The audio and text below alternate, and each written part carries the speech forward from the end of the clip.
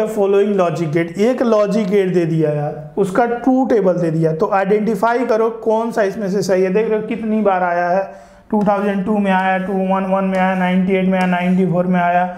मतलब कितना पसंद है भैया। क्वेश्चन बदलो मेरे भाई। ठीक है? यहाँ से हर बस साल एक ही क्वेश्चन पूछते हो तो ए बी सी ये ट्रू टेबल है। इसमें से आइडेंटिफाई करना कौन सा गेट है। अब देखो नैन गेट क्या होता है? नैन गेट का अगर तुम देखोगे तो नैन गेट ऐसे होता है, ऐसे एक बिंदी होती है, यहाँ होता है, ऐसे होता है, ऐसे ऐसे होता है। ये वन है, ये, अब पहले क्या क्या दिए? वन दिए तो वन मल्टीप्लाई करके वन किया और यहाँ आ गया ज़ीरो तो यार, ये तो इससे फिट बैठ रहा है।